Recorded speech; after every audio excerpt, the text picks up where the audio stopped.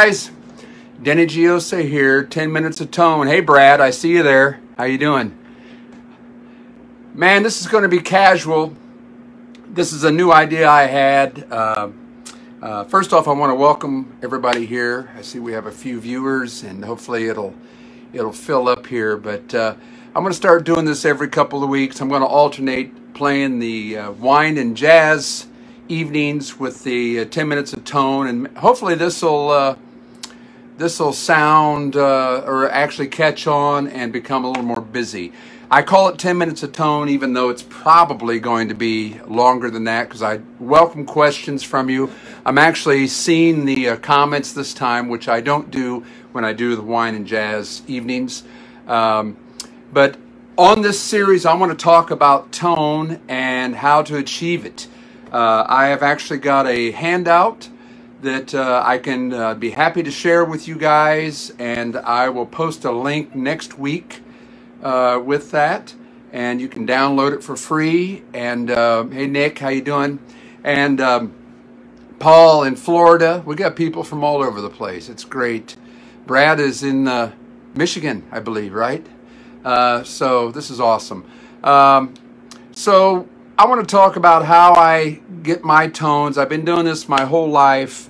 I go to universities and classrooms and teach about how to distinguish tone, all the, the factors that um, uh, uh, affect, not affects, but affect your tone everywhere from uh, your fingers, which is where it starts, in your hand.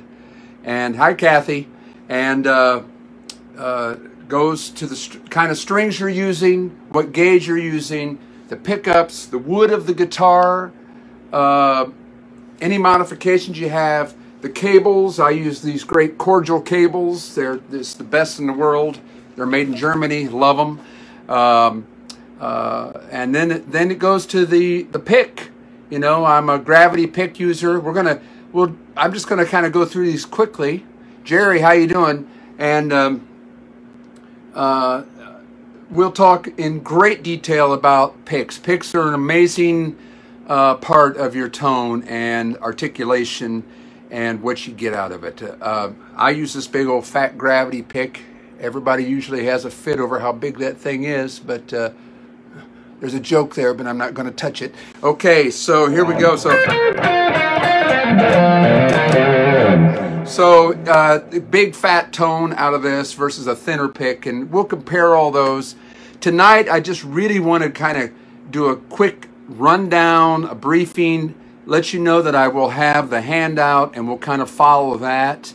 Um, uh, kind of like a class in tone is what I'd like to make it. So, um, I'm really blessed with all kinds of great gear here and um, uh, and sponsorships, you know, from Gravity Picks and D'Addario Strings and Paul Reed Smith guitars and Whitfill guitars and uh, Godin guitars and uh, uh, man, I tell you, it's just an amazing uh, thing that has happened for me in my life to be able to do what I love and make a living and have the support of these great companies and be friends with these guitar builders and pick builders and cable guys and all of them. So I love them like family. It's great to have them and their support. So I want to support them by giving back and talking about their great products.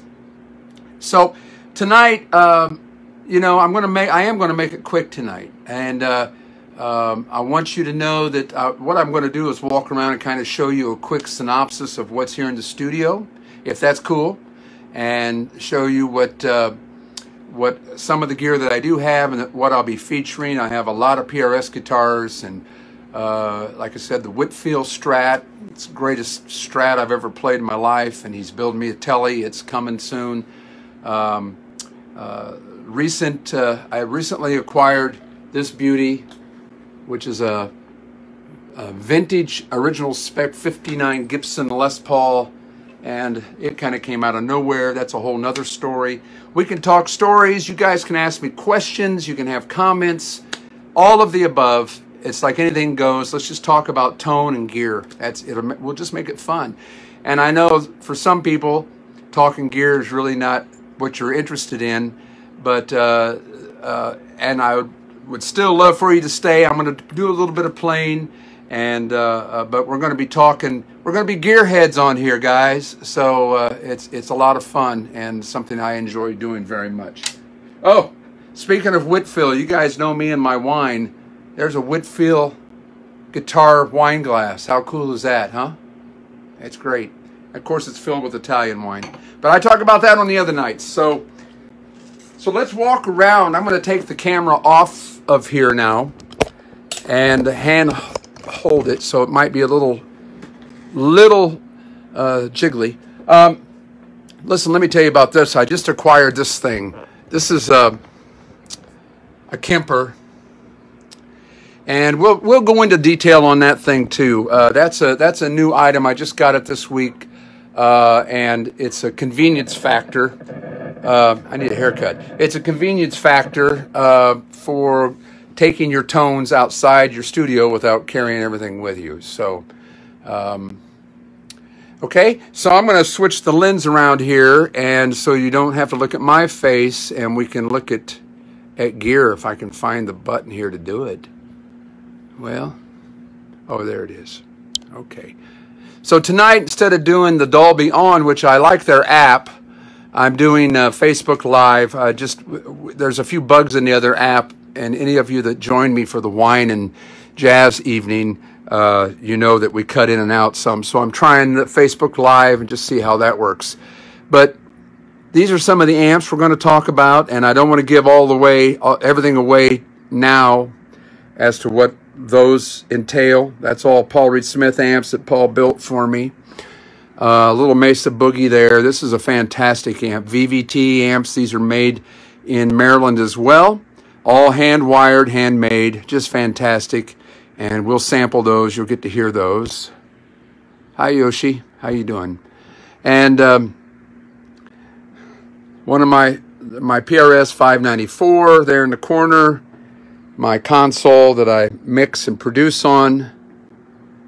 There's my baby, my 175. It's a 1967. I've had that for many, many years. Over here is just a rack of, of studio gear that, I don't know, if we can talk about that if you guys want to. This is kind of a special guitar to me. Even though he's hiding back here in the back, this is um, a 1976 Gibson Les Paul. Deluxe with the mini humbuckers that uh, I bought new when I was a kid. And uh, hey, David Brown. And um, here's, oh, there's that's a beauty right there. That's a, a completely hollow body Paul Reed Smith. There's my Whitfill Strat. I mean, I hope that there's, you know, if with this thing catches on, we'll just go through all of these guitars sometime and and because Man, I'll tell you, the pickups, the wood on the neck, the wood of the body, the day the guitar was made, that's one of my favorites right there. It's a semi-hollow PRS. Uh, there's a, another McCarty down there. That's a, a um, Korina, 100% Korina. That's a baby doll. That thing sounds sweet. This is the first PRS I ever bought. That's a custom 24. I'll try to work on the lighting. I see I'm kind of shadowing things here uh, Custom 24 1990 that I first one I bought before I ever knew Paul. And that thing is a monster. Just a monster. So, um, great. Hi, Drew. Um, my friend Drew Sturkey, a great blues guitarist, is online. I see him from Chattanooga. And uh, uh, I produced a record on Drew. We're getting ready to do another one. He's a fine musician. Check out his music. It's drewsturkey.com. Uh, there's amps. Let's look at pedals here.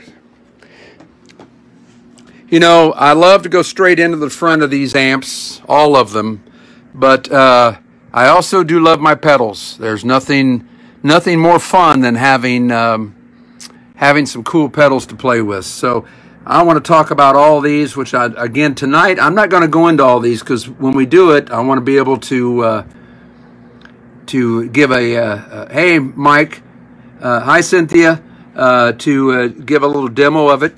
Here's another company that's really been supportive of me, and they make great products. It's Hotone Audio. Can you guys hear me okay? Everything okay? Thumbs up, somebody? Um, but Thanks. So, uh, Hotone Audio, they've got a pedal out called the Ampero, and um, um, we'll talk about that. It's it's like a a, a modeling uh, pedal that is so convenient. I use it at church all the time, at Lifehouse uh, where I play. And I see Debbie's on there. Hey, Debbie, there's a little plug for the church. You guys here in the Nashville area, check out Lifehouse in Joelton. Great people, great church. Uh, so there's a few of the pedals. Man, I've got I've got more than I know what to do with over here. there's a drawer full. There's another drawer full. And then if we come in here, hope you guys are digging this. Uh, in here, this is our the tracking room. Let me see if I can get a little more light happening. There we go. So in here, I've got all my cabinets. And uh, again, getting back to tone and what how to achieve it, I can't tell you how much and how important the speaker choice that you make is. How important the cabinet choice is. There's so many factors, guys, that go into making your tone right. And um, I've I've heard fantastic guitar players. That's my son's JCM 800. How you like that? That's a rocker, and his and also his bass amp. I don't own that. That's his. But uh, uh, but anyway, uh, everything affects your tone, guys. It's everything in line in the signal flow is part of your sound. And I started to say that um, I hear a lot of great players. I mean, they, they know how to play the instrument. Fantastic. But man, their tone kind of leaves you cold, and so you end up not listening for very long because it's just it's either harsh or just empty, flat sounding.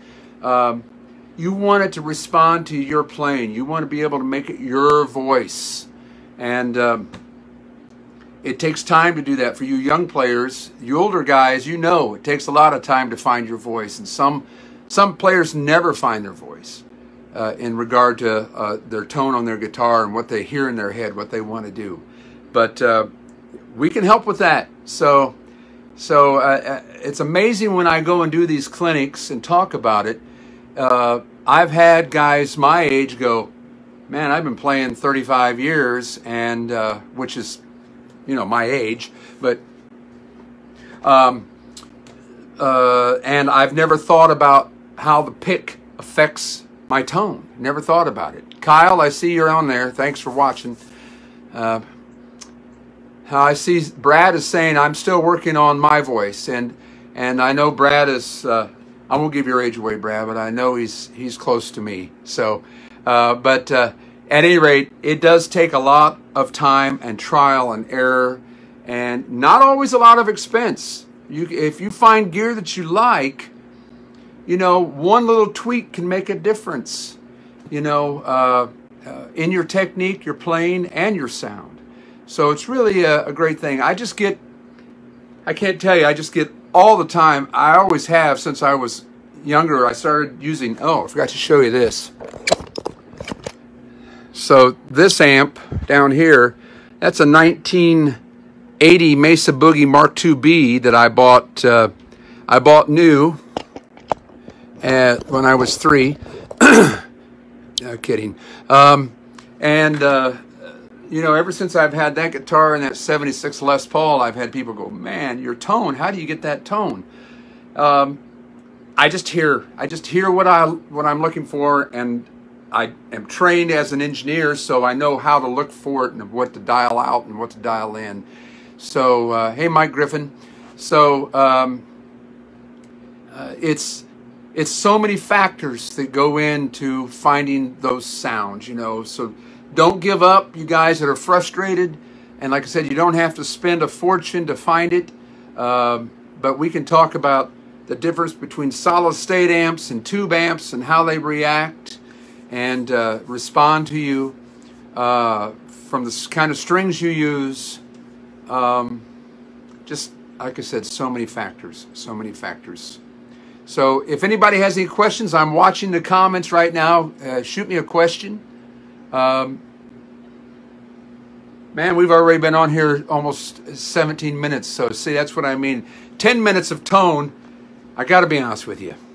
Blah, blah, blah. Hi, Eddie. Leave it to an Italian. Come on, Mugavero.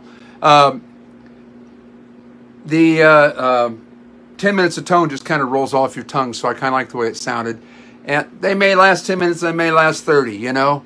So if you guys want to keep talking, we can keep talking. Um,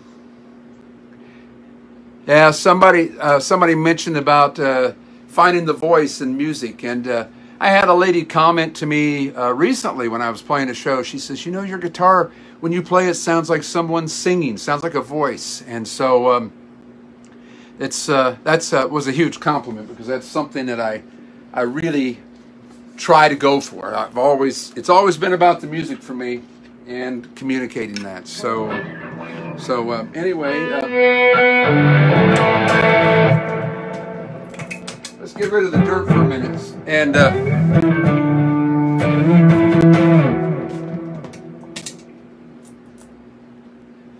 I also want to talk about, you know, not only the, the gear that I use, what is the best way to mix a bass drum?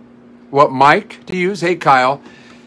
Okay, I'll tell you one of my secret weapons when I cut drums. See, see, we're going to get into some engineering things too, which I, I like. Um, I've been blessed to uh, record some really fantastic drummers, Kyle uh, Jones being one of them, uh, and uh, Chester Thompson and Ron Tutt from Neil Diamond, and uh, uh, just a lot of great drums. Danny Gottlieb from Pat Metheny. I've, I've been so fortunate and blessed to engineer and record those guys. Um, the mic that I use is a Electro Voice 868. Uh, and that is, to me, the bomb as far as I... I shot out a bunch of uh, kick drum microphones, and that one won to my ear. And then for those you, you uh, gearheads out there that know who George Massenburg is, about... Um, uh, a couple months after I made my choice, I see an article that George also said that was the greatest kick drum mic. So I went, ah, I'm in good company. So, you know. Um, so anyway, uh, that's kind of what uh, what I want to do with this show is talk about gear and how to get tones and how to use the gear, how to dial up an amp, you know, how you can uh, raise the master, and lower the uh, the channel to get a cleaner sound. Like I'll show you right now. What the heck? So here's so right now I've got uh, here. I'll bring this a little closer. Uh, look at how you like that dolly work there. Right now I've got the master on the amp at about 11 o'clock and the the channels at like 9 o'clock. So I get this kind of Wes Montgomery, nice, smooth, clean.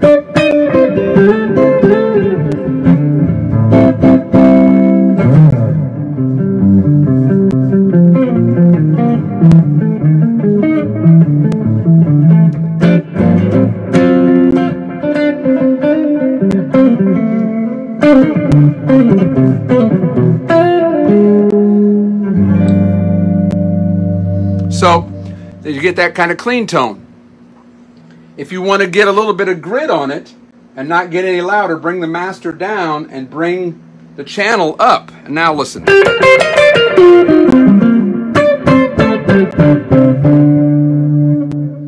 go a little bit more here.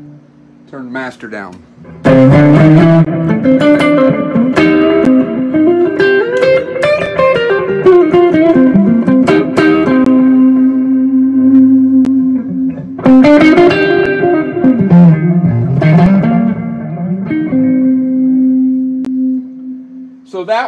Uh, that will kind of give you a little bit of edge on it. Tom Newton, how's my Les Paul different than my PRS guitars? Good question. Uh, and what model of Electro Voice mic Brad's asking? That was a uh, EV868 is uh, is the mic, and I'll be glad to get those out also you know, and show you guys sometime. But uh, the difference between the Paul Reed Smith and the Les Paul is probably that Les Paul growl that that you can't, uh, you know. I think I went out of tune, guys. Hang on a minute. I must have bumped it. I did.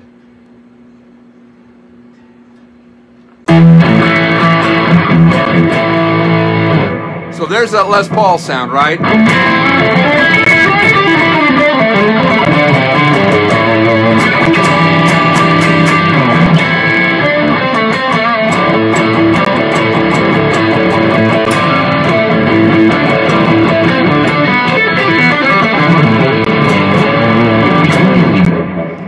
Okay, so there's the Les Paul sound with the with the PRSs. I'm going to grab one here. Hang on.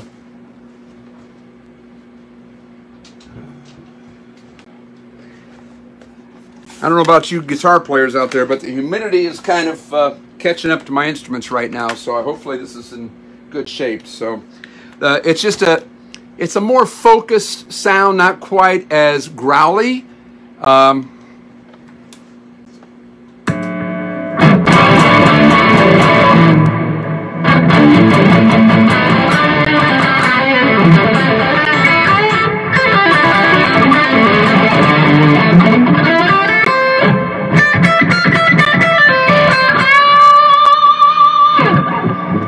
get that sound out of a Les Paul, but you know, Les Paul does its own thing and it's fantastic. So.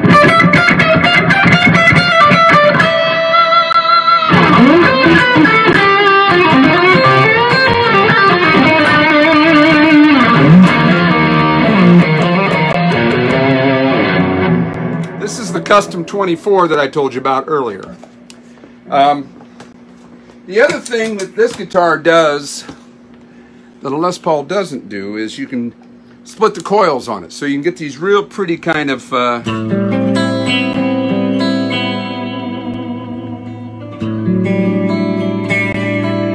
Hi, Nick. Your, your PRS doesn't sound like that? Well, we're going to work on that for you, okay?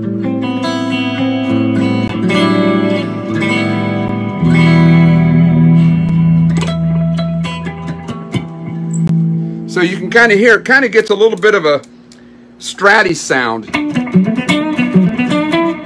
Single coil, because it's, it's by splitting the coils I'm talking about inside these pickups, for you guys that don't know. Uh, hey, Greg Regal, how you doing? Good to see you on here. Brian Walter, one of my best friends in the world. We grew up playing music together in Indiana. So inside these pickups, there's actually two what looked like single coils side by side that cancel each other out so there's no noise. That's how they came up with a humbucker, right? So with this switch on Paul's guitar, you can split those coils and get that single coil kind of kind of tone. This.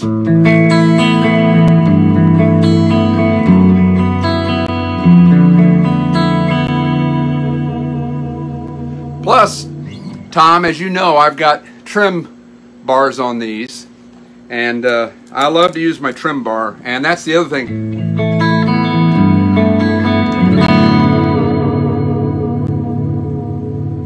And I mean, Paul builds such a such a strong guitar that you can you can dive bomb this thing, right? So, um, well, I'm moving around so much, I unplugged myself. Okay, so.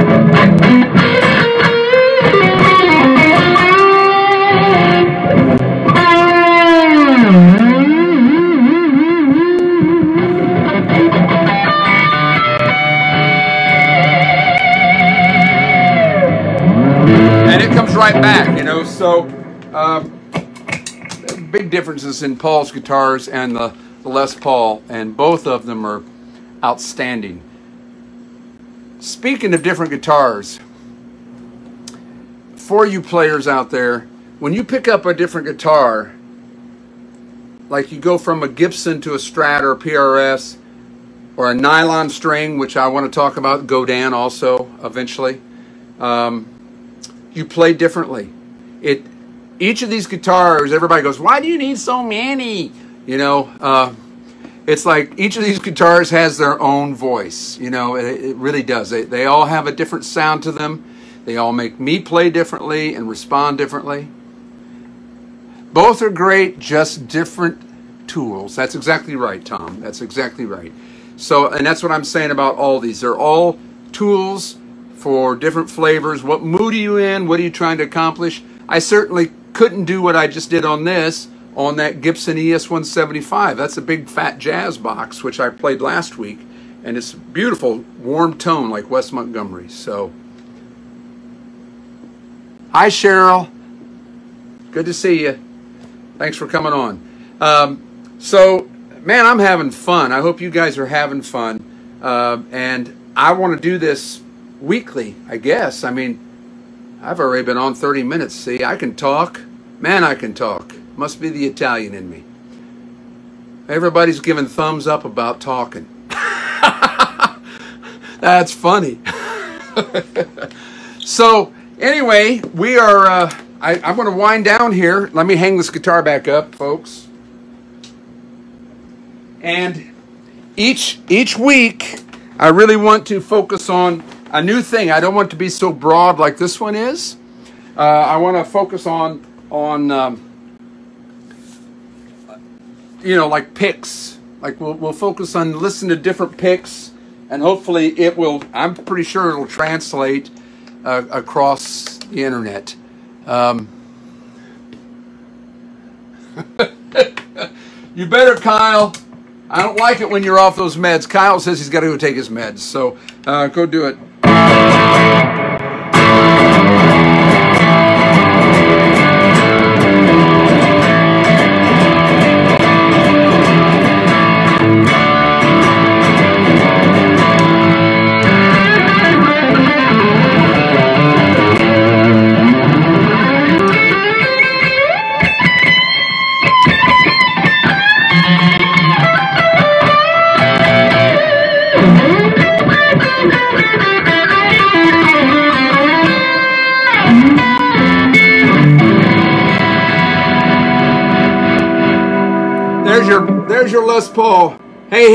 how you doing?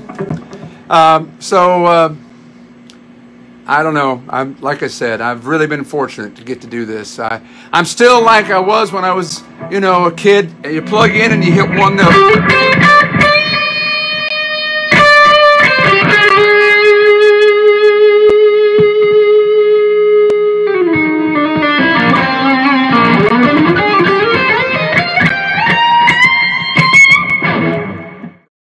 Right, guys. So I'm going to say goodnight, go eat some dinner, and uh, drink a little Italian wine.